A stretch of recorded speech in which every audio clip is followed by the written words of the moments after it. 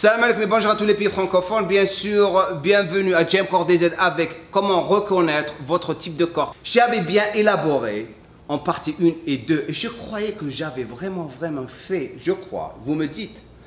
Euh, j'ai fait un boulot qui était très, très compréhensif et très, très simple. Maintenant, j'invite quelqu'un pour prendre ce sujet à un, à un niveau qui est vraiment, vraiment so deep deep, comme on dit en, anglais, c'est profond. Ce qui va me faire de la peine, c'est que les gens qui sont en train de regarder cette vidéo, les gens qui n'ont pas de patience, ils vont pas prendre le temps. Enfin, j'espère que tout le monde va regarder toute la vidéo, qui va être euh, vraiment euh, avoir d'autres parties.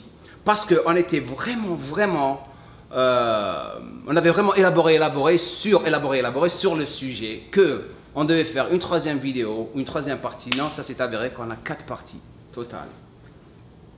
Je vous présente bien sûr monsieur Frédéric Delavier, que tout le monde connaît et que j'ai vraiment, vraiment, je suis très chanceux, comme ça se dit en français, chanceux c'est ça, euh, de l'avoir comme guest sur Jam des parce que le mec, il est, il est fascinant.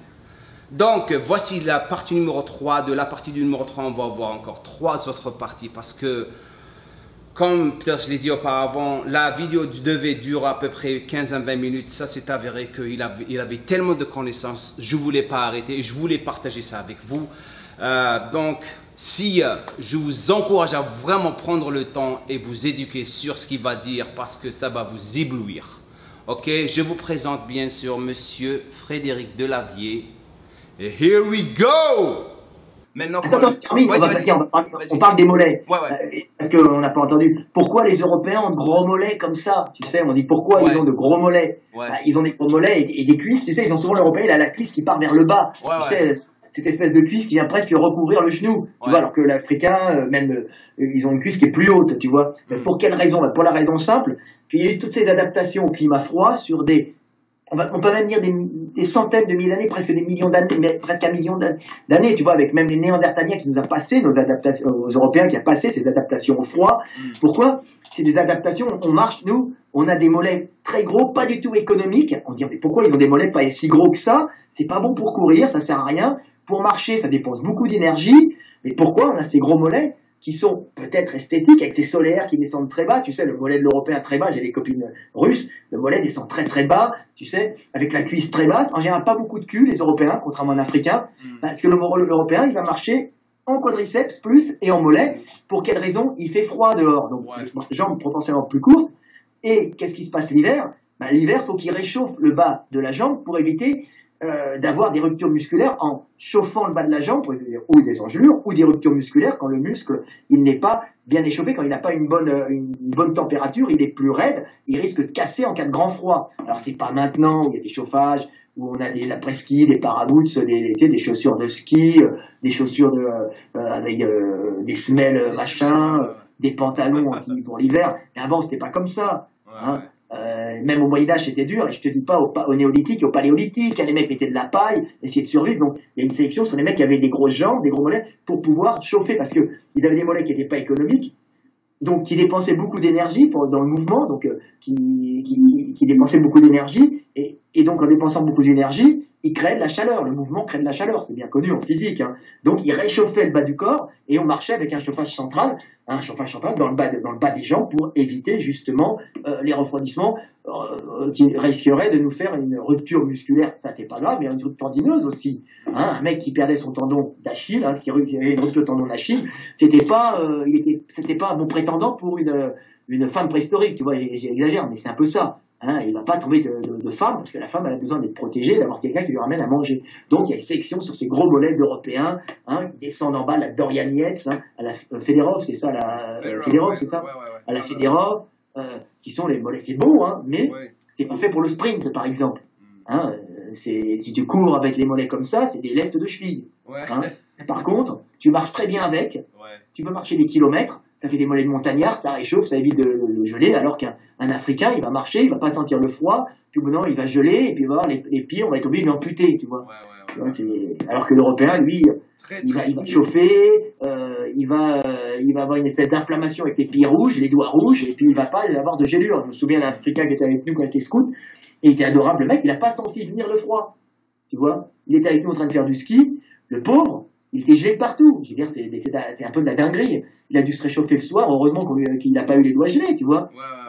c'était et lui, il l'a pas senti venir. Alors que nous, on, a, on avait froid aux mains. En fin de compte, on avait une inflammation qui activait la circulation, qui nous empêche de geler, tu vois. Alors c'est très particulier. Il y a eu cette histoire typique des Africains. Il y avait deux, deux fils de ministres à l'époque en France qui étaient partis faire leur service militaire dans les chasseurs alpins. Ils font un bivouac qui normalement c'est sans risque, tout le monde dort les uns à côté des autres, tout ça. Bah, eux, ils n'ont pas vu, pas vu venir le froid venir. Tout le monde se réveille le matin. Ah, ils faisaient dans l'igloo, ils avaient construit un igloo. Euh, euh, simplement, ils avaient oublié qu'ils étaient africains. Eux n'avaient pas ressenti le froid comme l'Européen l'a ressenti. Bah, ils sont morts la nuit. Tu vois? C'est horrible. Mais il faut savoir qu'on n'est pas pareil. D'ailleurs, les Américains, qui sont assez pragmatiques, hein, les Américains, en, général, emploient rarement dans les missions polaires des Africains. Mm-hmm. Tu vois, des, subsahariens, euh, ils savent très bien que c'est pas, pas dans le top tu vois. Très intéressant. Aussi, explique-moi, pourquoi on ne voit pas beaucoup d'Africains comme nageurs Ah ouais, je vais te dire ça. Ça, ça, va. On va terminer avec les Africains, parce que ça, c'est vraiment intéressant. Les, les, les, les Africains euh, qui sont bons en course de fond.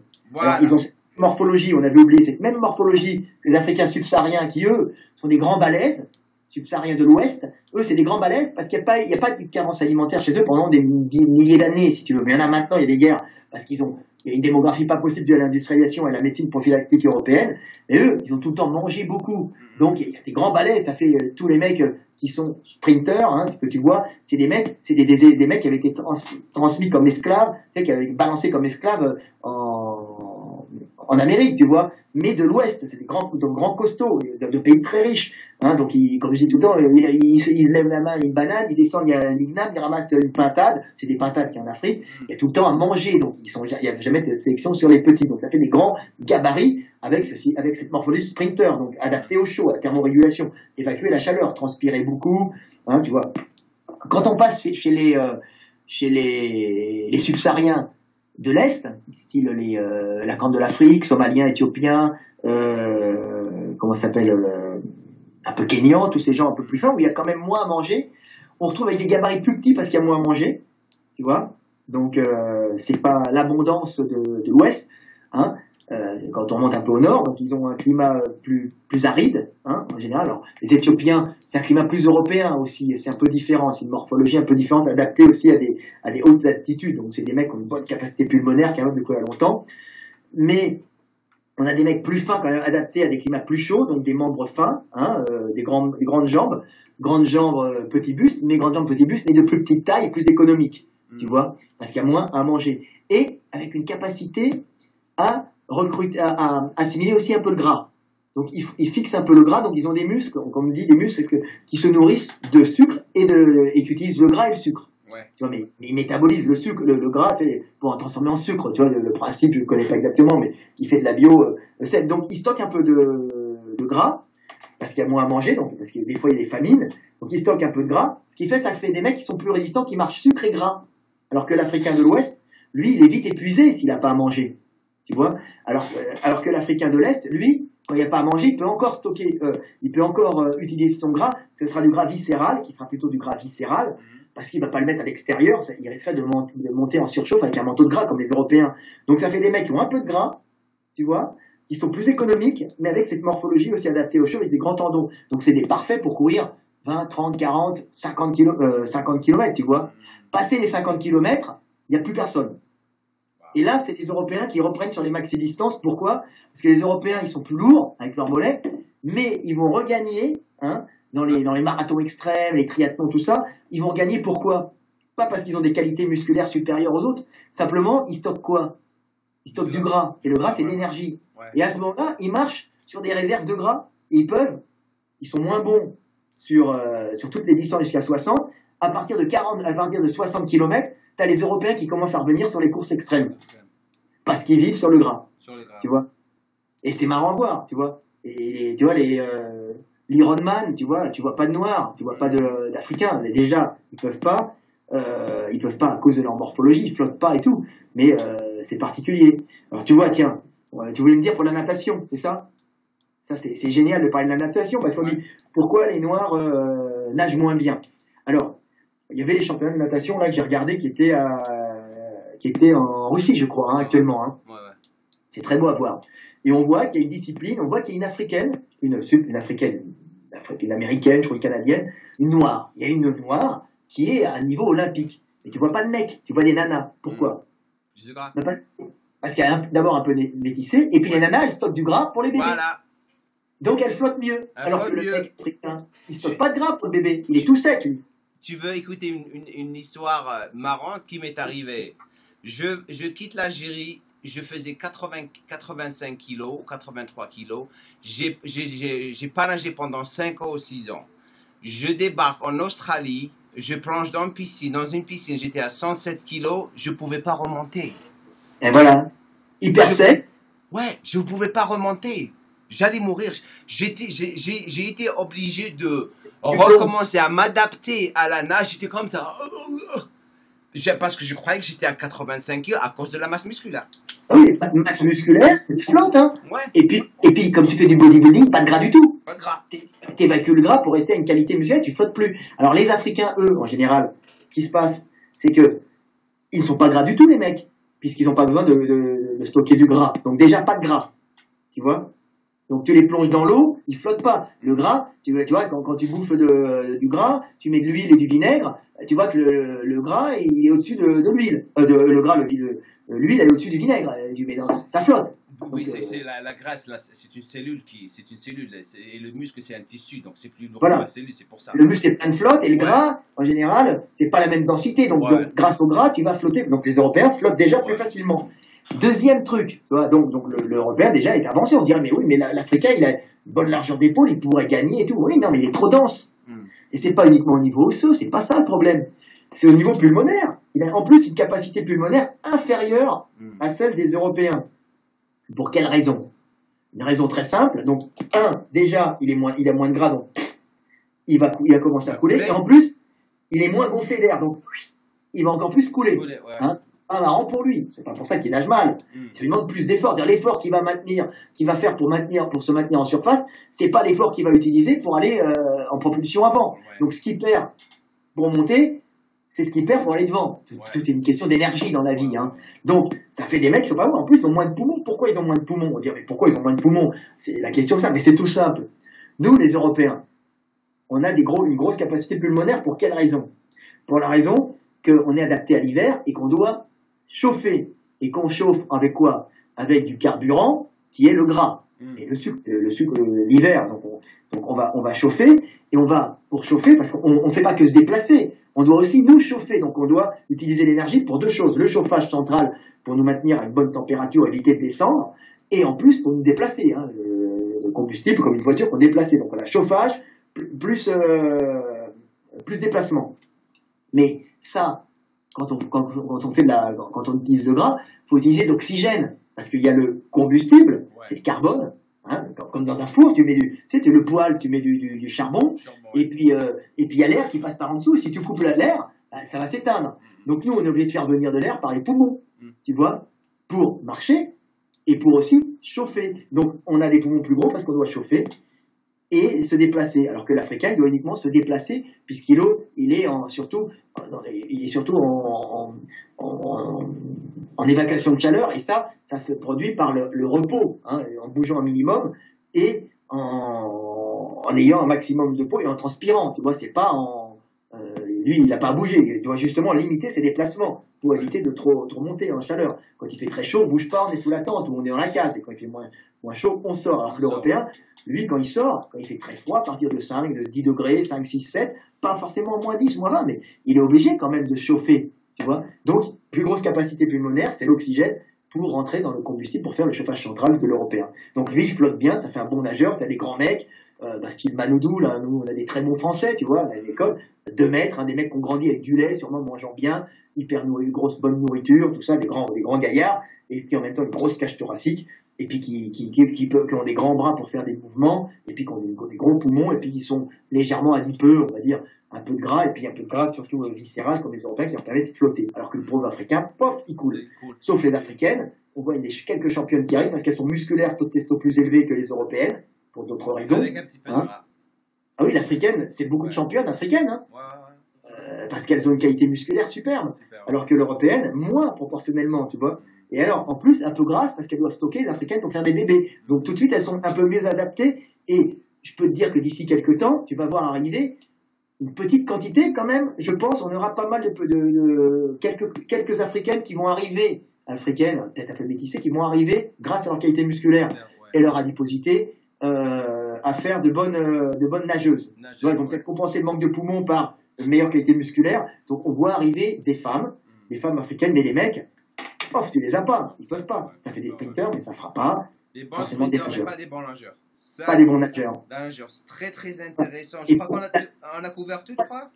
Non, non, pourquoi l'africaine? On peut bien parler. Pourquoi l'africaine, elle a un taux de testo plus élevé que, la, par exemple, que l'européenne? Ouais, pourquoi? Bah, C'est simple. En Europe, c'est un pays froid. Ouais. Euh, euh, les européennes, tu sais, c'est les tests de Kimura. C'est une Canadienne géniale qui est morte récemment. Euh, j'ai vu sa fille au téléphone qui avait fait tous ces tests. Et on dit les femmes, les hommes viennent de Mars et les femmes de Vénus. Tu connais, il y avait eu un, qui est un très très bon livre, très simple, mais qui explique bien que les femmes ne savent pas lire les cartes et que les hommes euh, euh lisent mieux que les cartes et que les, les, les femmes, c'est les tests de Kimura, en fait, c'est une chercheuse canadienne, et que euh, les, les, les femmes sont plus sensuelles, sont plus dans le toucher, hein, on a besoin, elles ont besoin d'être récompensées, d'être caressées, mm. ah, tout ça, ça a des raisons biologiques, hein, si elles ont besoin d'être caressées, c'est que nous avons un petit, par exemple, elles aiment les caresses, elles aiment le, la caresse, elles aiment les sensualités parce qu'on a des petits qui naissent pas encore totalement formés, parce qu'on a un gros cerveau qui se développe après, et c'est pour être stimulé, les femmes, tu sais, elles, touchent les bébés comme ça, en réalité, elles aiment bien les caresses, elles aiment bien être prises dans les bras, caressées, on leur fait des bisous, alors qu'un mec, il aura envie des fois que de se reproduire, tu vois. Mais il faut faire ça parce que la femme est très tactile, parce que cette tactilité permet à nos petits de survivre et de stimuler son système nerveux, parce qu'il naît presque prématuré. C'est pas irréel prématuré, mais il n'est pas encore achevé. Donc pour, pour, stimuler son système nerveux, les femmes aiment le, aiment le tactile. Elles aiment prendre, caresser, maintenir près d'elles. Tu vois, quand elles vont dans les, dans les boutiques, elles touchent les habits comme ça, tu vois. Ouais.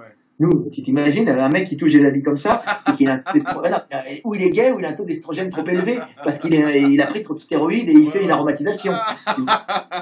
Ah oui, il a la, la gyno. Et la, la gynécomastie, bien romantique, il pleure, il voit un film romantique c'est classique des, des, des, des, culturistes qui, qui sont en retour de, de cure. tu sais, on rigole. mais, mais, d'un seul coup, ils se féminisent, tu vois, ils comprennent ce que c'est qu'une femme, tu vois. Je leur dis, mais comprenez ce que c'est qu'une femme, vous verrez.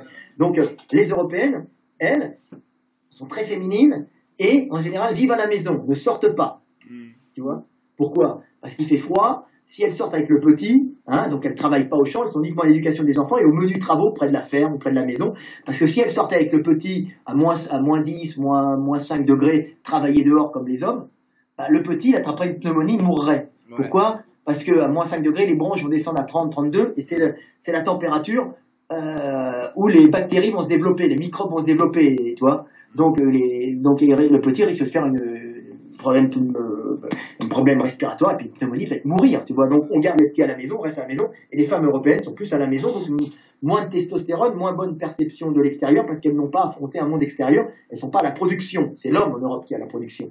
En Afrique, c'est l'inverse. Les femmes, il fait chaud, donc elles peuvent se balader avec leurs petits sur le dos, dans les bras. Elles peuvent sortir travailler avec le petit. Il n'y a pas de température où le petit, où, ça va la température va descendre et le petit risque d'attraper une pneumonie. Donc, les femmes en Afrique sont souvent à la production. Tu vois, elles sont dehors, elles ont, elles ont tête de chèvre, elles veillent sur ça, puis elles, sont en groupe de femmes, on pose les petits dans un coin, dehors, et on va au travail avec les petits. Le petit dans le dos, tu sais, on pile le même. Alors qu'on ne peut pas.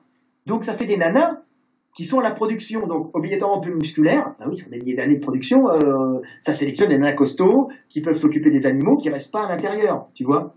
Donc des nanas qui peuvent produire, donc plus musculaires, plus balèzes, avec comme elles sont à l'extérieur, avec une capacité spatiale meilleure que les européennes, que les femmes européennes.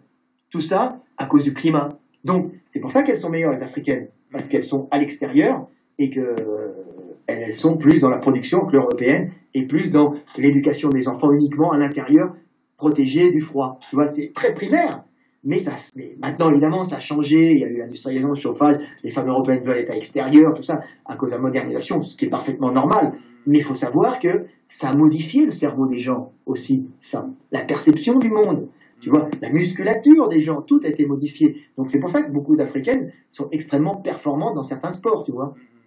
Sprint, euh, même lancer, tu vois, des Africaines qui sont fortes en lancer, hein, euh, parce qu'elles sont plus musculaires, hein. même en combat. Il y en a qui, il y a des Africaines maintenant qui peuvent combattre, hein. judo, on en trouve, on trouve euh, avec des bonnes capacités musculaires chez l'Africaine, tu vois, subsaharienne. Et c'est des petits mecs, hein, elles ont le testo plus élevé. Puis l'Africain, lui, il est costaud, il est baraqué, mais il est moins dans la production, tu vois, en général. Bah, pourquoi, faire, pourquoi produire nous quand les femmes peuvent produire, tu vois? Ce qui est normal. Le monde marche en économie, tu vois. Nous, les Européens, on était produits, on est dehors, on est obligé de ramener l'argent, de ramener la, ramener la soupe, de ramener la monnaie, parce que euh, les femmes doivent rester à la maison avec les bébés, autrement il n'y a plus, il y a plus d'Europe, si il n'y a plus d'humanité européenne. Alors qu'en Afrique, pas de problème. Tu vois et c'est pas qu'il y en a un qui méprise la femme et que l'autre euh, met la femme à la maison. Non, c'est le climat qui fait qu'on est comme ça. Donc tout est relié au climat. C'est très intéressant. Très, très intéressant. Tu sais, un truc encore pour les bodybuilders, hmm. enfin, parce que toi, tu es bodybuilder. On voit tout le temps les noirs, tu sais, on voit euh, les, noirs, les africains, subsahariens, tu vois, Kegrin, j'adore Kegrin, c'est un copain. Euh, même, même, euh, comment il s'appelle, merde, comment il s'appelle, oh, Coleman. il faisait beaucoup de cardio, tu vois. Et, et, couvert et tout, tu sais, pendant des heures, relax. Mais c'était pour transpirer, c'était très couvert. Hmm. Mais c'est plus pour transpirer, évacuer l'eau, que pour euh, griller des calories. Parce que l'Africain subsaharien, c'est pas comme l'Européen, il stocke pas beaucoup de gras.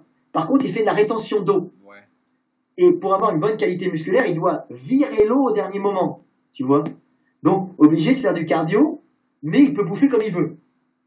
Alors que l'Européen, on voit souvent des Européens qui font du bodybuilding, tu sais, ils, sont, ils deviennent énormes, ils sont magnifiques, et tu les vois arriver en compète, quand ils ont perdu le gras, ils ont perdu leur masse musculaire. Tu vois? Et c'est terrible pour l'Européen, parce que euh, comment faire pour gérer la masse musculaire tu vois, et la perte de gras avec. Donc c'est pour ça que souvent les Européens, ils sont obligés de prendre plus de stéroïdes que les Africains. Mais tu, sais, ça, mais ça, c'est les, les, bodybuilders qui ne sont pas éduqués côté nutrition et euh, qui perdent de la masse musculaire, tu sais ça. Parce que quelqu'un, parce que parce qu'il faut prendre en considération beaucoup beaucoup de choses pour ne pas perdre de la masse musculaire malgré qu'ils prennent des stéroïdes, tu sais ça. Les, les noirs, comme tu as dit, sont bien positionnés bien sûr leur génétique et la flotte qu'ils perdent exactement.